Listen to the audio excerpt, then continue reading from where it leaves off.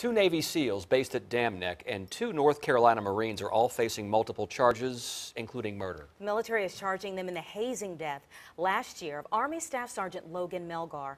Investigative reporter Chris Horne has more on the case against the four men. Chris. Anita, the charges against them say they plotted together and strangled Melgar in his bedroom.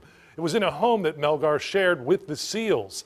They were part of a joint special ops team attached to the U.S. Embassy in Bamako, Mali.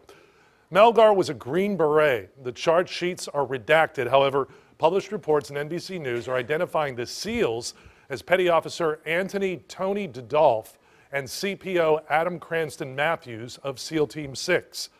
Legal authorities at Naval Region Mid Atlantic say the two SEALs and two Marines broke into Melgar's room, restrained him with duct tape, and choked him to death. The Daily Beast is reporting the SEALs had a beef with Melgar after he called them out for unprofessional behavior. DeDolph, Matthews, and the two Marines are charged with felony murder, involuntary manslaughter, and conspiracy, among other charges. The Navy says the four men will have an Article 32 preliminary hearing December 10th on Naval Station Norfolk. Chris Horne, 10 on your side.